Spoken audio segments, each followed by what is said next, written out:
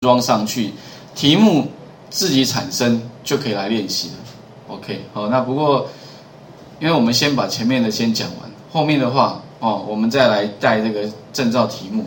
OK，好，那等一下的话呢，我们要继续再来看哈，那个 auto complete 这这这个题目。那这个题目的话呢，哈，它是在呃各位的这个书上的五至三十六页啊，五至三十六页的地方。那这个地方 auto complete test view 啊，其实还蛮好用的。为什么呢？因为如果说有些东西哈，你希望让人家怎么样呢？点下去就可以自己跳出来的话，就是不用打完，它只有打部分就跳出来。那对手机来说很方便，因为手机本来就不好输入了嘛。你要人家输入一堆东西才可以看到结果，那不是很麻烦？所以你如果打一个字，它就可以秀出一个清单让它挑的话，哎，那就很方便了。OK，所以这里的话呢，我们要怎么可以利用那个 Auto Complete 这个 Test View 啊，来自动跳出我们要的部分？那不过这个地方有点像是跟 Spinner 有点像，也是一样嘛。你还是要怎么样？要有一个清单。那这个清单要放哪里呢？一样嘛，你还是放什么呢？放那个，先把那个完成的部分的来看一下，我们可以把它放在这个 value 里面，有吗？这个 strings 里面，也就是说呢，哈，比如说我有一个 country 的 item 里面的话，分别就是有好几个，就是呃，这是国家哈，国家的名称。那这个几个国家的话呢，我就先在这边建一个什么？建一个这个叫 string array 啊，叫字串阵列。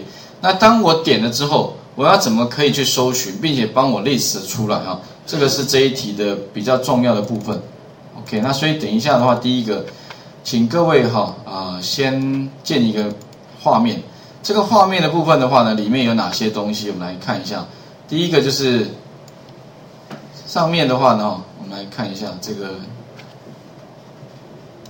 首先呢，上面用那个 lay linear layout，那上面放一个 test view。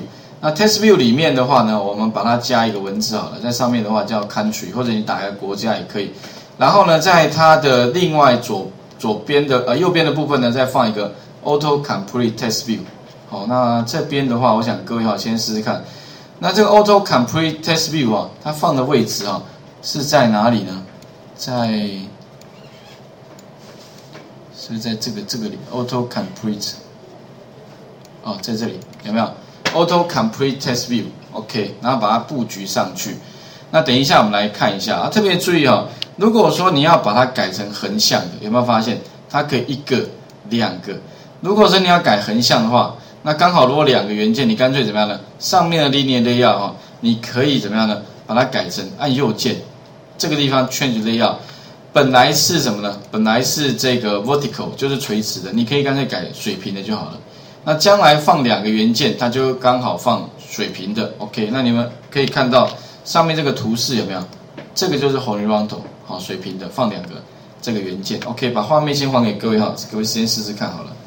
先把那个画面上面呢，把它布局一下哈。